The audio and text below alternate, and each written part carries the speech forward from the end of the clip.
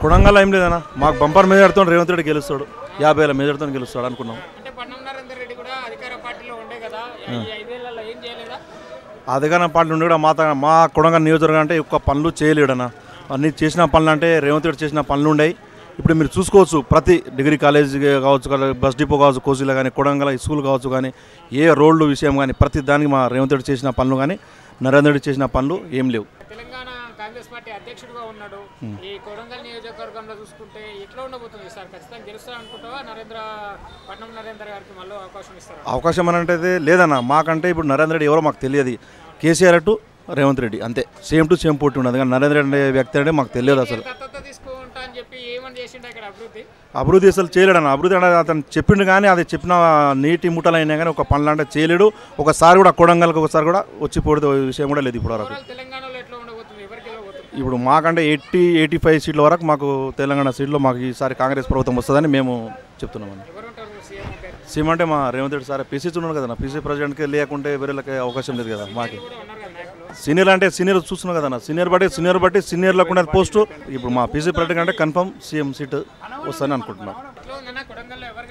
కొడంగల్లో రేవంత్ రెడ్డి గెలుస్తాడు. ఉన్నారు మాస్ ఉన్నారు. వాటి మంచి టీఆర్ఎస్ నేను కాస్ట్లో టీఆర్ఎస్ తొమ్మిది సంవత్సరాలు టీఆర్ఎస్లోనే పనిచేసిన. నేను టీఆర్ఎస్ మనిషినే. కానీ రేవంత్ రెడ్డి గెలుస్తాడు. ఎందుకంటానంటే పిసిసి ప్రెసిడెంట్ కాబోయే ముఖ్యమంత్రి ఇంకోటి నరేందర్ రెడ్డి టోటల్ జూటా. ఏం చేసిండంటానంటే ప్రతి తాండాలో రోడ్ వేపిస్తా శిలాఫలకం శిలాపలకం కట్టించేది టెంకాయ కొట్టేది ఒక్క తాండా రోడ్ కాలేదు. మంచి బీటీ రోడ్ని మాత్రం మట్టి రోడ్గా మార్పించిండు. బిల్లులు కాలేవు. రోడ్లు కూడా వేయలేదు మట్టి రోడ్లు ఏని కూడా వెంట ముందల పడ్డారు. వర్కులు అయితే ఏమీ కాలేదు. వేసిన మాటలు మాత్రం మస్తు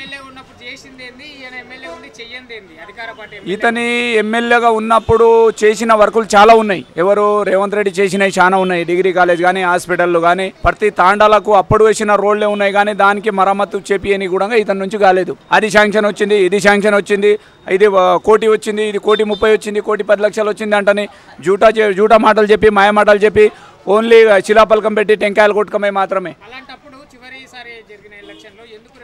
ఇక్కడ అప్పుడు ఏమంటానంటే ఇతని పనులు చేస్తా.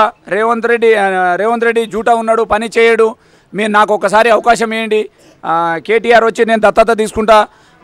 గవర్నమెంట్ వచ్చేటి పదిహేను లక్ష పదిహేను లక్షలు ప్లస్ నేను నా చేయకుండా ఇస్తా పది లక్షలు దత్తత తీసుకున్నా ఎవరు ఇనాన్ మాస్ అయితే వాళ్ళకు ఇరవై ఐదు లక్షలు ఇస్తా అంట నేను మాయ మాటలు చెప్పి దోకా చేసినందుకే మాట పబ్లిక్ అంతా ఏమనుకుంటారు అంటారంటే మనకు డెవలప్ కావాలి. ఎవరైతే ఏం చేసేది అంటే డెవలప్ కావాలంటారు ఇక్కడ మళ్ళీనరు మళ్ళీనాక కూడా ఒక్క రూపాయి ఇప్పటి వరకు పది రూపాయలు లేదు నష్టపోయినారు. కాబట్టి లేకుంటే మానే అంటని ఉల్టా తిరగబడ్డారు ఇప్పుడు. అంతే. ఉట్ట ఉత్తి మాటలే ఖాళీ.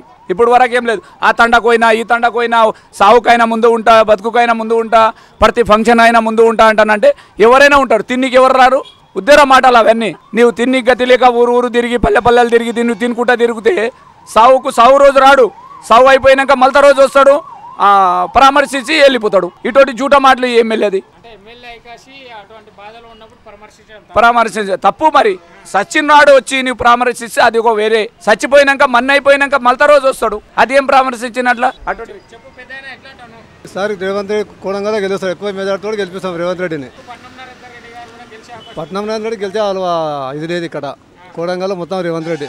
లెక్క అయితే మాత్రం యూత్ అంతా మొత్తం రేవంత్ రెడ్డికి ఎందుకంటే సీఎం అభ్యర్థి అతని. యువకులకు ఇంత జాబులు లేవు ఏం లేవు. చాలా మంది వస్తున్నారు యువకులు జాబులు లేక. కానీ యువకులంతా మొత్తం తెలివితోటి మొత్తం అంతా రేవంత్ రెడ్డికి అయితే గెలిపేయాలని చెప్పి చేస్తున్నాం మేము. చేస్తేనే అతను సీఎం అయితేనే మొత్తం మా కొడంగల్ అంతా నియోజకవర్గం మొత్తం బాగుపడతా అన్నట్లు అది నరేంద్ర రెడ్డి ఏం చేయలేదు. అది తిండికి దావత్ కంతులు చేసినామంటే దావత్కి వచ్చిండు ఆ రోజు. సత్యనారాయణ రాలేదు తెల్లారినాక పరామర్శించడానికి వచ్చిండు అట్లా. దావత్ ఉండదు పిల్ల సమృద్ధి అయితే వచ్చిండు ఎంగేజ్మెంట్ అయితే అన్నిటికి వచ్చిండు మొత్తం నరేంద్ర రెడ్డి. కానీ విషయం లాభం చెప్పు ఎంత మొత్తం నియోజకవర్గం మంచిగా చేయండి మరి ఇక. ఏం చేయలేదు.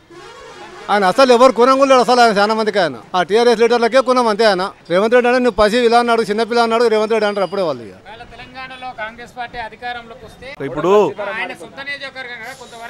ప్రేమ ఎక్కువ ఉంటుంది. ప్రేమ ఎక్కువ అన్న ఇంకో విషయం తెలుసా ఇప్పుడు? కొడంగల్ ఉన్నట్లు ఇప్పుడు సిద్దిపేట ఉన్న కొడంగల్ లేదనా శ్రీశైలం ఉన్నప్పుడు కొడంగ లేదన్నా అది అక్కడ డెవలప్ ఎట్లా అవుతుంది? అని మా సార్ ఇక్కడ సేమ్ అయితే మా ఒక రూపురేఖలు మారుస్తుంది అని మాకు కోరిక. అదే సార్ ఇంకోసారి నెక్స్ట్ టైం ఎట్లా ఓడిపోయినంటే పైనుంచి కింద ప్రభుత్వం ఉందని ఒక పబ్లిక్ ఆలోచించి అట్లా చేసిన కానీ ఏం చేయలేడు చూడన్న. మా కొడంగల్కి మా సార్ చేసిన డెవలప్ తప్ప అసలు అతను చేసినది ఏమీ లేదు. ఒక బస్ స్టాండ్లో సర్కార్ తుమ్మ చెట్టు తీయనికి రాలేదు సార్. ఆ బస్ స్టాండ్ పరిస్థితి చూడండి ఒకసారి. ఈడ దత్తత తీసుకున్న విలేజ్ ఇది. ఆ బస్ స్టాండ్ పరిస్థితి చూడండి. సర్కార్ తుమ్మ చెట్టు తీయలేరు ఇప్పుడు వరకు దాంట్లో పందులు పొరలాడుతున్నాయి. కొడంగల్లో సార్ కొడంగల్లో రోడ్ వెల్డింగ్ చేస్తే కూడా ఒక్క ఇల్లు ఒక తీయనికి చేత కాకపోయేది నరేంద్ర రెడ్డికి. మా సార్ ఇండు రోడ్ వేపిస్తే కానీ ఒక్క ఇండు జాగా జరపనే సార్ అట్లా ఉన్నాడు నరేంద్ర రెడ్డి పరిపాలన ఇక్కడ కొడంగల్లో. కన్ఫర్మ్.